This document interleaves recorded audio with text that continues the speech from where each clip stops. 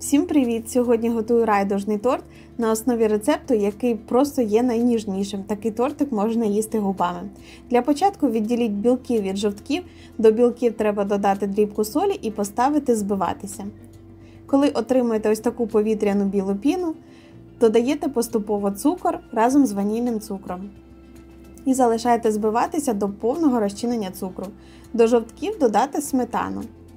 Після того, як білки збилися, додаємо жовтки до білків. Обережно вінчиком знизу вгору перемішуємо ці дві маси до об'єднання.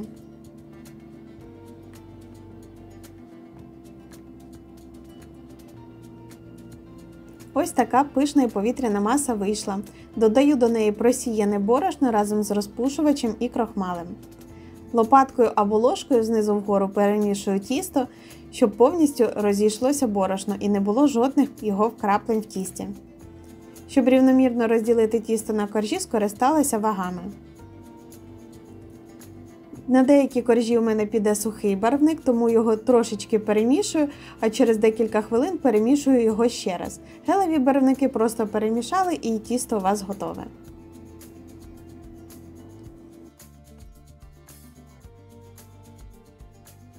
Розрівнюю тісто і підіймаю кільце і ставлю в духовку. Духовка розігріта до 170 градусів, печеться приблизно 5-7 хвилин. Дивіться, щоб перестав зверху блищати.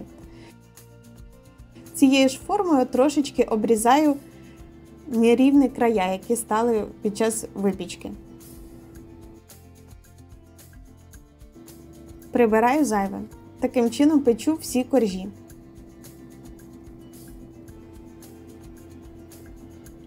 Для крему нам потрібно яблука запекти або в духовці, або в микрохвильовці, накривши їх повністю.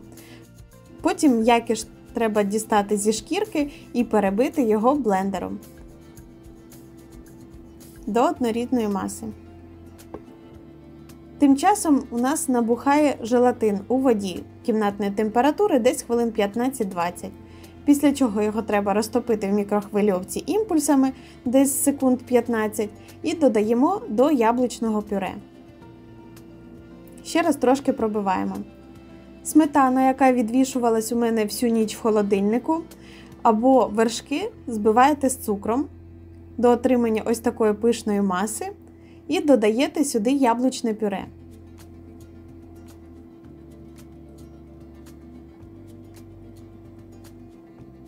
Цей тортик вийде нереально соковитим і дуже-дуже смачним, з легким яблучним присмаком, що ніхто навіть не догадається, що там є яблучка. Це просто неймовірно смачно. Ось такий гарний крем у нас виходить. Щоб його рівномірно розподілити, розкладаю його зразу по всім коржам. На останній корж кладу поменше. Не забуваю на дно також трошечки крему, щоб тортик в нас не їздив. Ось так на кожному коржику у мене вже лежав крем. Щоб тортик був рівний, збираю його у кільці.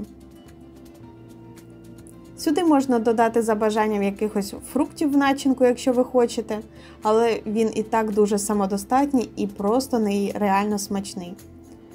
Просто перешаровую всі коржики.